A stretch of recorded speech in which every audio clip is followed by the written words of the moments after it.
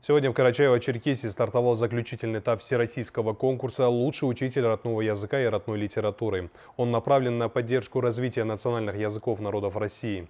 Учителя приехали из 73 субъектов Российской Федерации. Торжественная встреча гостей проходила в 19-й гимназии города Черкеска. Подробности у Али Баташева.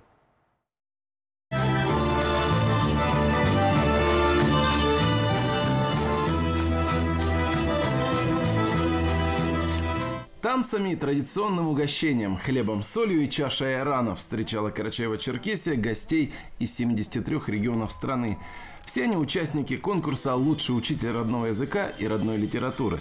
Он проходит в год педагога и наставника и направлен на поддержку развития языков народов России. У вас пройдут испытания. Мы постарались создать для вас комфортные условия, чтобы вам было удобно поделиться своими лучшими педагогическими практиками, обменяться опытом и, конечно, приобрести новых наставников и друзей. После регистрации гостей в актовом зале 19-й гимназии Черкеска состоялась жеребьевка очередности выступлений участников конкурса и представления членов жюри. Юлия Серебрякова приехала из Ульяновской области в национальном костюме. Я, где возможно, пропагандирую язык, культуру своего народа. А как назвать вот у вас на голове вот это украшение? Честно говоря, это девичье украшение, масмак. Да. Женщины его носили только поверх платка, как закрепляющий элемент. Но я решила, что я еще не совсем юна душой.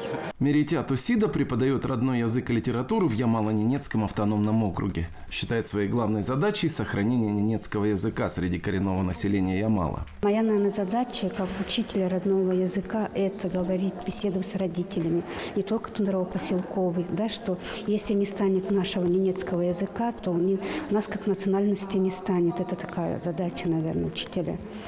А в работе, в работе, наверное, я больше с детьми как э, тоже стараюсь говорить о значении нашего языка. Всероссийский профессиональный конкурс «Лучший учитель родного языка и родной литературы» направлен на поддержку развития языков народов России. Он завершится в Черкеске 24 сентября. Нашу республику на нем представит учитель абазинского языка Ида Дахчукова. Али Баташев, Али Бастанов, Вести Карачаева, Черкесия.